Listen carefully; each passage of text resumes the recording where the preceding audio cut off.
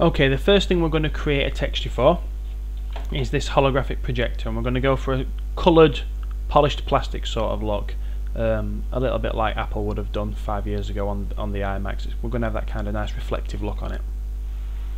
Um, so the first thing I'm going to do is just press F to frame that up make sure it's in the middle of my view and then I have to open the Hypershade which is where you make your materials in Maya. so to do that I'm going to click on Window I'm going to go to saved layouts and I'm going to choose hypershade slash persp uh, which is the view I like to use for this. And if you're lucky enough you'll have that view down here all ready to go if your screen makes things fit. When you open it up it'll go side by side there's perspective there's your hypershade. Now the first thing you need to do is make sure you've got your create tab selected. And make sure that you're um, showing your Maya nodes here as well and then you should see anisotropic, uh, hair tube shader, Lambert, etc etc all down here. They're the ones that you need, they're what we're going to be using.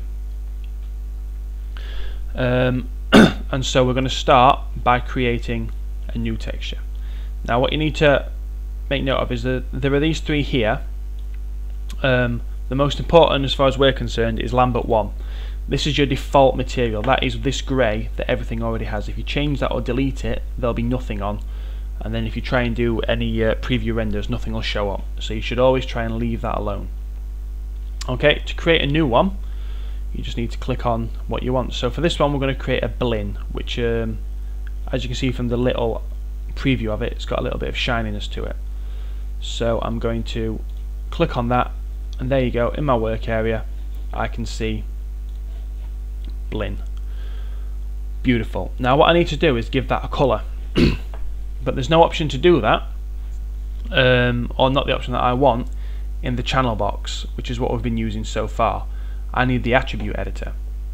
Okay, so to get that open, what I'm going to do is I'm going to hit Control and A on the keyboard, and that then opens up this, and this is where I can change all the attributes for anything within Maya. So I've got Blinn 1 selected, I'm going to rename that projector but then I'm going to put a capital M at the end so that I know that that's a material if I need to look later. And make sure you hit enter. At the moment it still thinks it's called Blinn 1 press enter and it changes it on this tab. And then what we need to do is give it a colour um, which is nice and easy. So I'm going to go into the colour swatch here and I'm going to go nice and um, oh apparently I want to save it I'm going to go nice and sci-fi about this. I'm going to let a little bit of purple creep in, I think. Um, and we'll go for that sort of shade, nice and dark. So here is my preview of what I've just made. Um, and that's nice easy, that's now created. Now to assign that to the shape, um, which is just here, what I'm going to do is I'm going to find it from my materials window, and then I'm going to click and hold with my middle mouse button, I'm going to drag to the shape and then I'm going to release. And that has now applied that texture. Even in this preview you can see it's got a nice little bit of shininess going on which is what we're looking for. When we add the advanced render settings to it later it'll also reflect what's in the room which is why we've used the Blinn for this one. Okay so that has created that first texture. In the next video we will create a texture uh, for the sun